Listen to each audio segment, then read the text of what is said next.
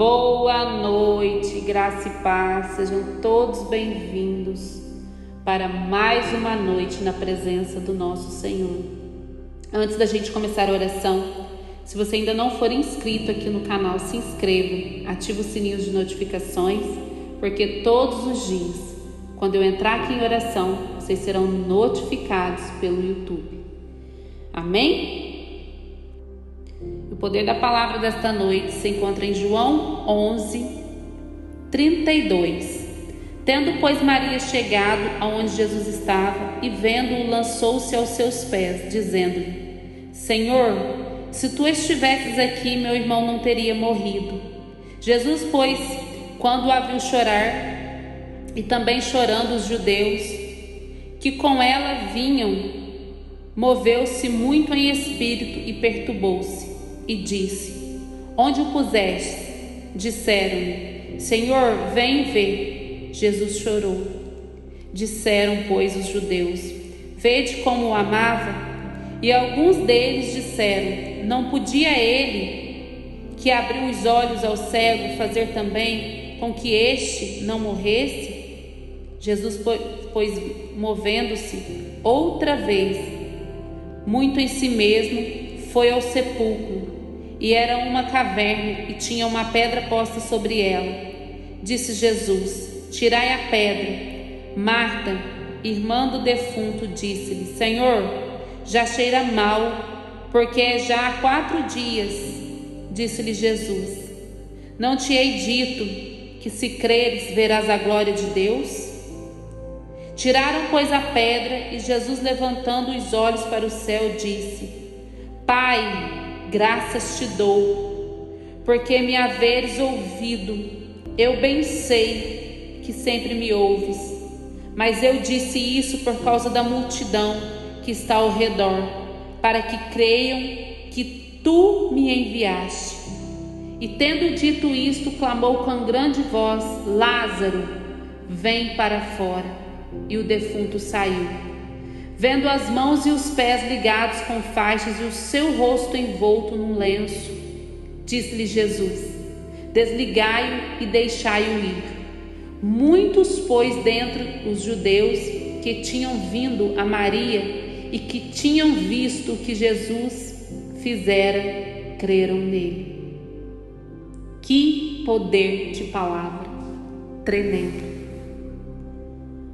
Esta palavra ela é tão edificante para todos nós. Não existe nada impossível para o nosso Deus. Jesus se comoveu quando ele viu Marta ali chorando. Quando ele viu Maria chegando aonde Jesus estava e vendo o lançou aos seus pés, dizendo-lhe: Senhor, se tu tivesse aqui, meu irmão não teria morrido. Jesus, pois, quando a viu a chorar, também chorando os judeus, com ela ali naquele lugar, o Senhor se comoveu em espírito e o Espírito Santo perturbou. Ele disse: Onde puseste o seu irmão? E eles disseram: Senhor, vem aqui para o Senhor ver.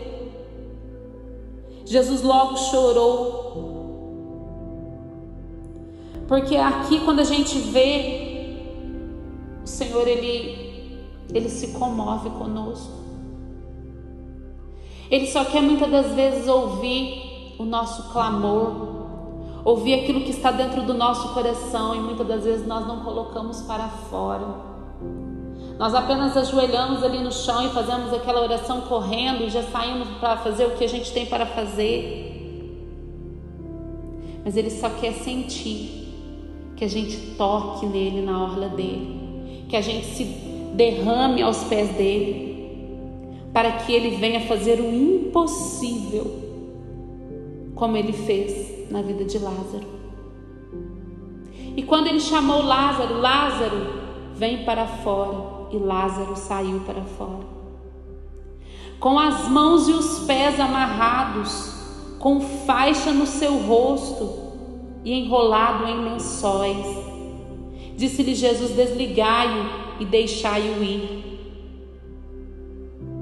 Não existe nada impossível para o nosso Deus. Tudo que você e eu passamos, tudo que você e eu sentimos, Ele também sentiu.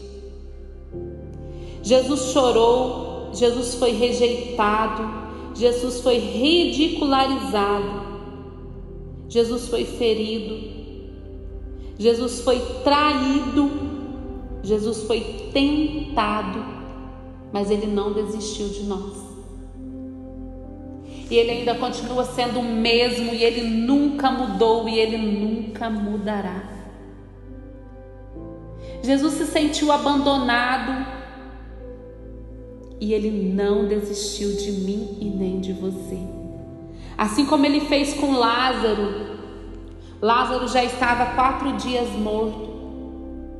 Maria disse para Jesus: Senhor, este defunto ele já cheira mal, porque já há quatro dias ele está aí. Então Jesus respondeu para Marta: Não te hei dito que se creres verá a glória de Deus. Então nunca deixe de crer, nunca deixe de acreditar. Às vezes você tem um marido que está passando por algum problema, você tem um filho que está no vício das drogas. Você pode estar hoje no leito de um hospital. Você pode estar enfermo numa cama. Mas o nosso Jesus, ele vive e reina para todo sempre e Ele pode manifestar a glória dele para que você seja curado, para que você seja liberto. Só cabe a nós crer que Ele é o único, digno de toda a honra e de toda a glória. Precisamos de entender que Jesus ele nunca desiste de nós. Ele não desistiu de Lázaro, mesmo Lázaro estando morto e cheirando mal quatro dias. Ele ainda teve solução. Imagina você que está passando por algum momento, por alguma fase. Apenas creia e você verá a glória de Deus sobre a tua vida. O Senhor ele viveu, ele passou por tudo que nós passamos nos dias de hoje e Ele não desistiu de nós. Então, por que você quer desistir de Jesus? O Senhor, Ele, Ele te entende, mas você também precisa entender que sem Ele você não é nada. Precisamos de ser persistentes e nunca desistir. Ele é o caminho para todos nós. Não rejeite o sacrifício, tome sua cruz e siga Jesus. Passe pelo que você tiver de passar, mas não deixe Jesus. Seja fiel até a morte, entregue a sua vida para Jesus. Aquele que é escolhido não tem escolha, apenas obedece o chamado do Senhor e aceita. Amém? Receba esta palavra em nome de Jesus. Deus, eu te agradeço por mais um dia que se finda. Eu te agradeço por estar aqui agora neste exato momento, engrandecendo e exaltando o teu santo nome. Pai, toma a vida do meu filho, a vida do meu marido e a minha vida. Obrigada por ter permitido, Espírito Santo, que nós cheguemos até aqui. Tome a vida de cada um daqueles que vão entrar nesta oração. Eu não os conheço, mas que o Senhor vá de encontro com cada um deles, Pai.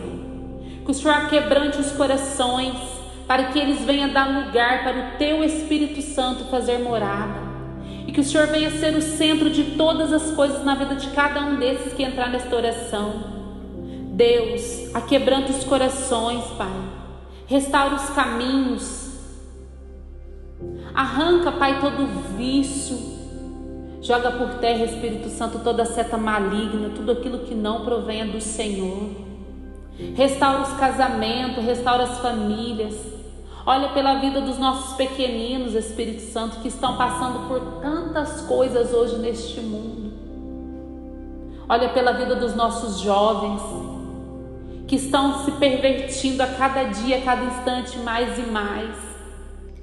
O Senhor sofreu, o Senhor sentiu todas as coisas que nós sentimos nesses dias de hoje. O Senhor foi rejeitado, o Senhor foi ridicularizado o Senhor foi ferido, o Senhor foi traído, o Senhor foi tentado, o Senhor se sentiu abandonado. E hoje muitas das vezes é o que muitos de nós têm sentido. Mas que a partir deste dia de hoje, o Senhor venha ser o centro, o Senhor venha ser o conforto, o Senhor venha ser o consolo bem presente na vida de cada um de nós, em nome de Jesus. O escolhido não tem escolha. E que nós venhamos estar atentos e dar ouvidos ao teu chamado em nome de Jesus. Amém?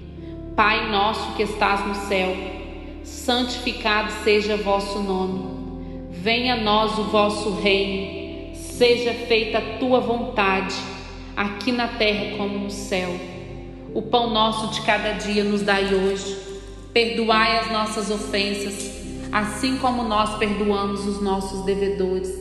E não os deixeis cair em tentação, mas livrai-nos de todo o mal, pois teu é o reino, o poder, a honra e a glória, hoje, amanhã e para todo o sempre. Amém? Graça e paz, amados. Amanhã de manhã eu estarei aqui com vocês na oração da manhã.